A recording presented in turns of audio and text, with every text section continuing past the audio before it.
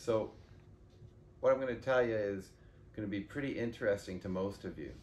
Um, it's been a crazy year of uh, sudden death and sadness and poor health and also good health and recovery and so much going on in the world.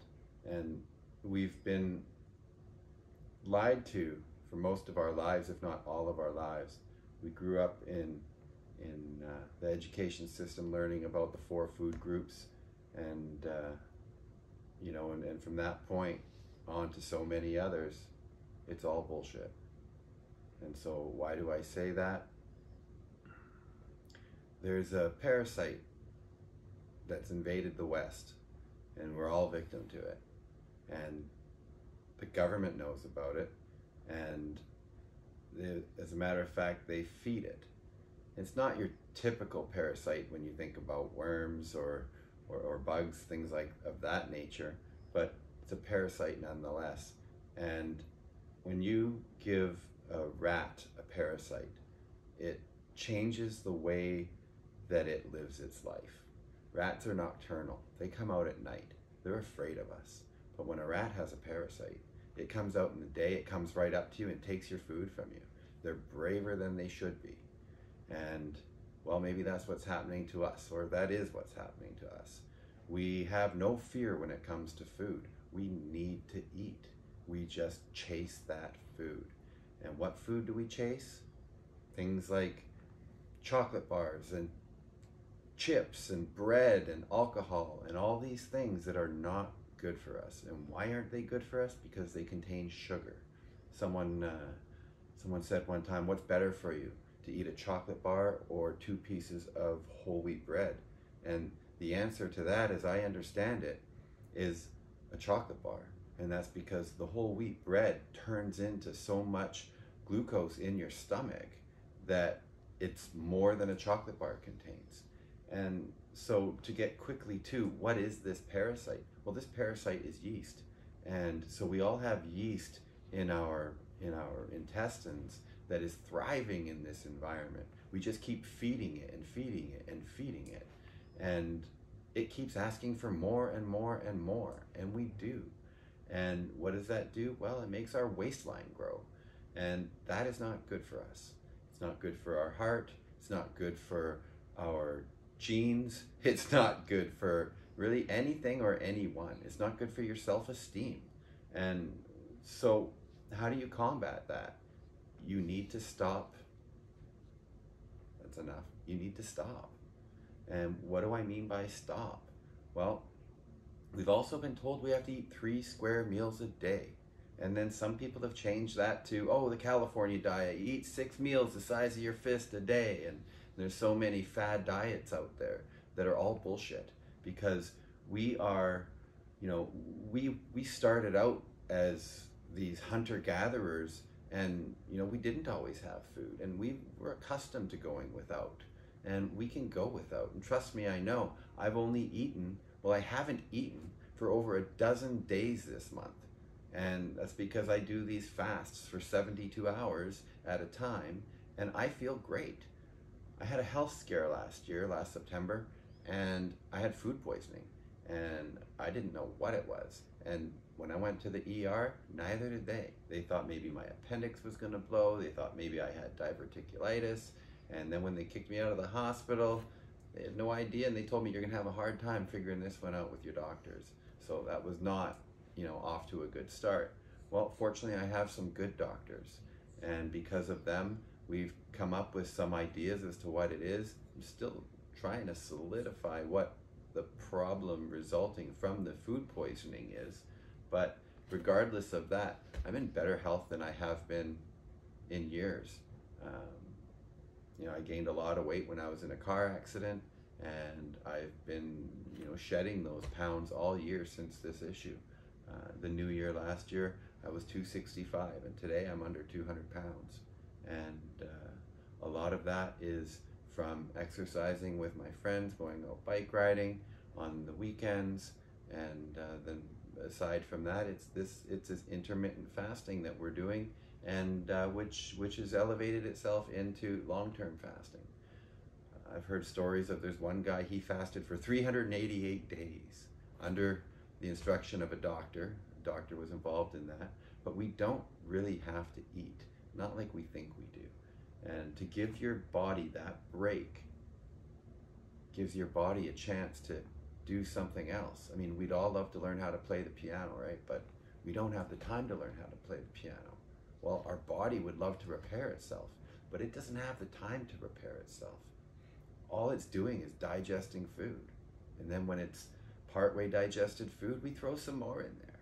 And then we digest a little bit more and we throw some more on top of it. And our bodies just can't keep up. And so we our body just keeps packing it away and it makes our waistlines grow. And uh, you know, it, it's it's we can't continue this. And so here I am to tell you um, some of the truths that I've learned this year. And uh, I think the most important one is is fasting is good for you. There's cultures that they fast on a regular basis, and um, that's old knowledge continued on into into present time. And not everybody knows why they do it. I think probably most people don't know why they do it. And so here i am to tell you the reason why we do it. So and that is the reason that we give our body a break so that it has time to do other things that it really needs to do. And uh, you know i heard today this morning that my good friend lost his wife the other day and uh, that was really hard to hear. And I've been packing around this idea of making a video and, and telling everybody about my journey so that I can help you with this knowledge rather than one on one and waiting till I see you and you're like, oh, Pete, what happened to you? You're disappearing. You know, I thought I'd just tell everybody. So here I am telling the world. Um, I am not a doctor, I'm a realtor. And, uh, but that being said, I'm no slouch uh, when it comes to uh, thought patterns and thinking, and I've, I've, figured some stuff out. So, how do I go about not eating for three days in a row? Uh, the first day, uh, you know, I, I, when dinner comes along one night, I eat a nice dinner, and uh, we only eat, we try to only eat whole foods. So, we make our food. You know, we have real meat, um, we have real fruit, real vegetables. We, you know, we make our own sourdough bread. We, um, you know, we don't drink milk. We don't have sugar in the house, except for uh, there is sugar for when um, someone's by and they want coffee. And we don't always have cream in the house because we don't even drink coffee. And um, you know, so these are some of the things that are, that are bad for you. Um, you know, uh, I recently was listening to a doctor speak. He's the guy that uh, I, I, can't recall his name, but uh, he's the guy that taught the NFL about concussions, and he had a job to do as a as a brain scan specialist, whatever that title might really be. Um, he would he would look at the brains of murderers and understand what um, what a damaged brain looks like. And I mean, he's got a lot of a lot of fun antidotes in his in his uh, or anecdotes in his in his uh, tells on, on on the program that I was watching on on probably YouTube, and it was he was talking about you know how when he met his wife after three weeks he had her into his office and hey why don't uh, why don't you lay in there and we'll just scan your brain and really he was looking at her brain to see what kind of damage she had make sure she's not a murderer, I guess. And uh, if anybody dates one of his daughters for longer than four months, he's scanning them. And so he's got some truths that he realizes and he can see. And some of those truths were that, you know, when we drink, we're damaging our brain and he can see it. And when we drink coffee, we damage our brain and we can see it. And the first time I meant alcohol. Um, and, uh, you know, when we do all these things that we know are bad for us, um, but we think, yeah, it's okay in moderation, and, and there might be some truth to that. But you know, when we do things excessively, we're definitely hurting ourselves. and so that's you know that comes back to all of this and our general health and and then my truths about about fasting. Um, you know i take that dinner that night and i eat my dinner and i go to bed and i wake up and i know i'm not eating that day. And so i just enjoy my day. And it's a hard one. The first day is harder because you have all that all that glucose in your body in your system and your body's using it all day. And it's telling you this yeast is crying for more and um, you know there's lots of ways to tell that you have a yeast overgrowth and they say you can take your morning spit and put it in a glass of water and if it's stringy going down well you have yeast. Or if you have itchy legs and you have yeast overgrowth or if you have black spots on your calves and you have yeast overgrowth and I can't remember all the different things but that's what Google is for. And there's uh, and your doctor. And there's so many there's so many tells about yeast. And um, but it's kind of a known that it's a problem. And so you go through that first day and you're hungry and, and you want to eat because your, your yeast is, is begging for more. And don't feed it and know that it's going to get better. And so you know if you can't handle it go to bed early and wake up the next day. And the next day is different because your body has used up that stored glucose.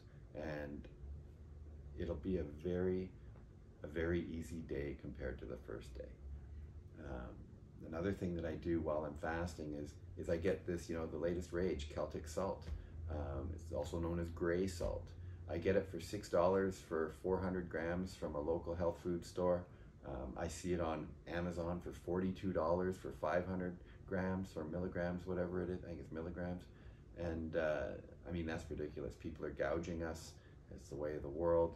But, you know, keep your eye out for it. It doesn't have to be expensive. It's no different than the other stuff. The stuff I pay, you know, $5 for, uh, it's from the beaches of France as well. And, um, it's unfortunate that it has to travel in a plane to get here, but you know that's a whole nother topic when we start getting into climate change. So we'll just keep this one on food health, and uh,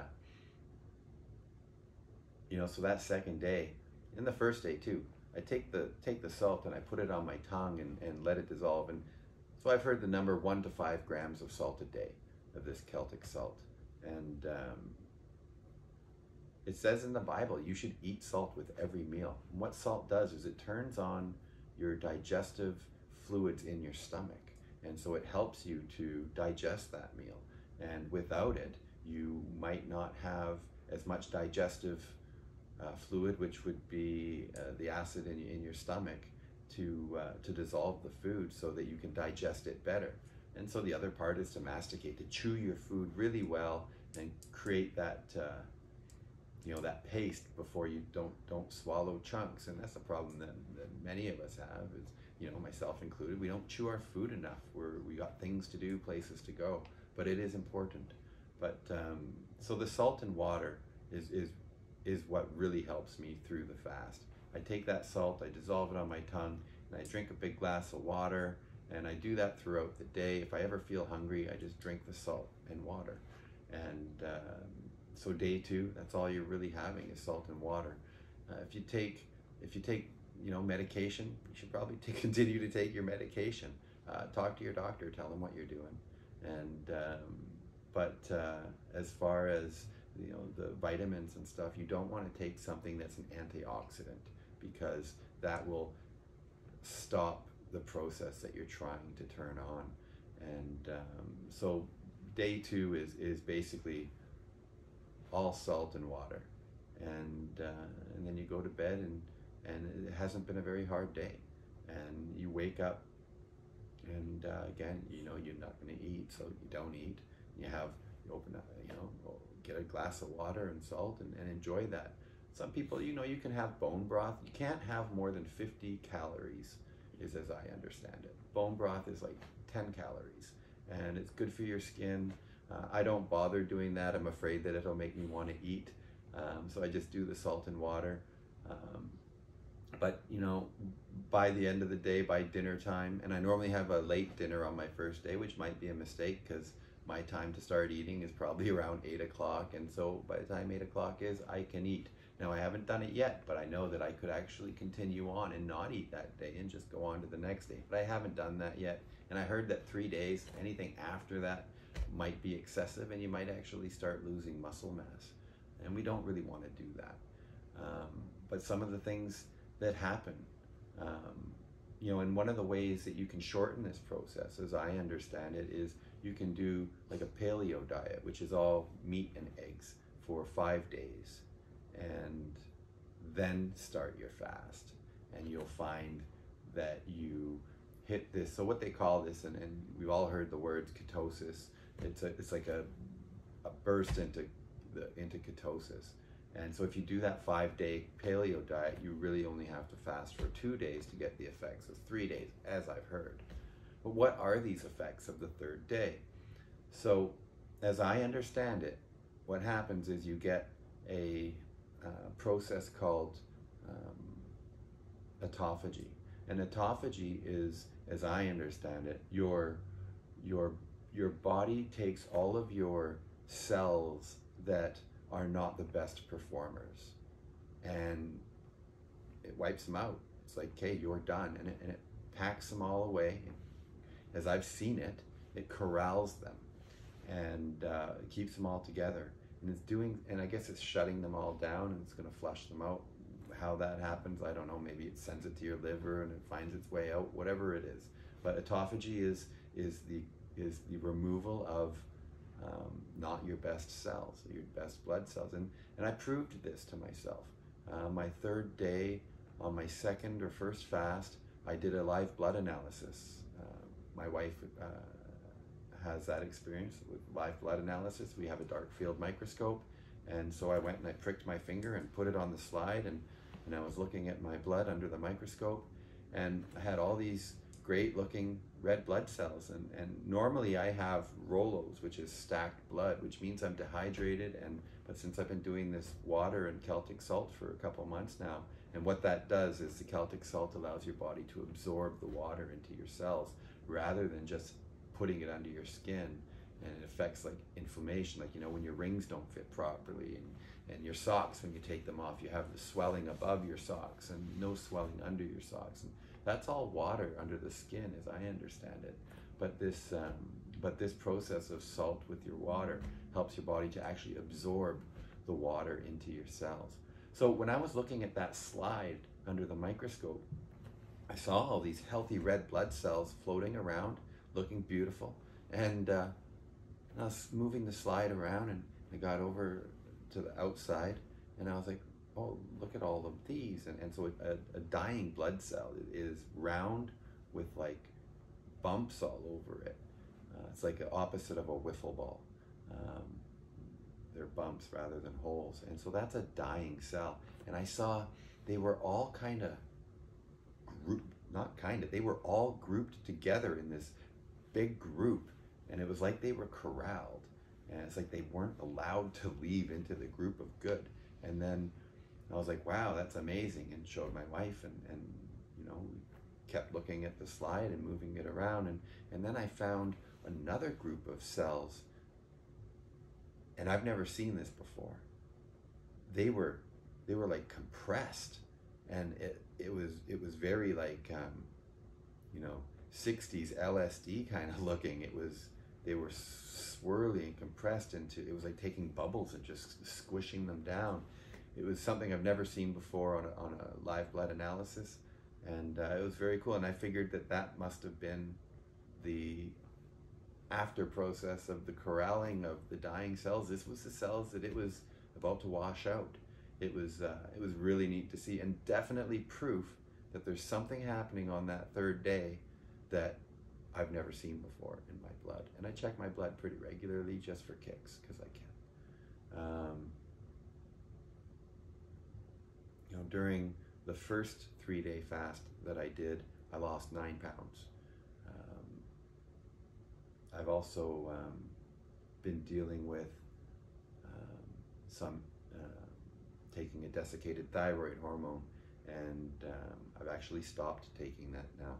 I did stop taking it once, and I and I gained 10 pounds instantly that week. And then I started taking it again and I lost those 10 pounds. And so I'm no doctor, but I talk to my doctors when I do these things. And um, my doctor says, you know, well, maybe you should keep taking it. And, um, but last week I did stop taking it.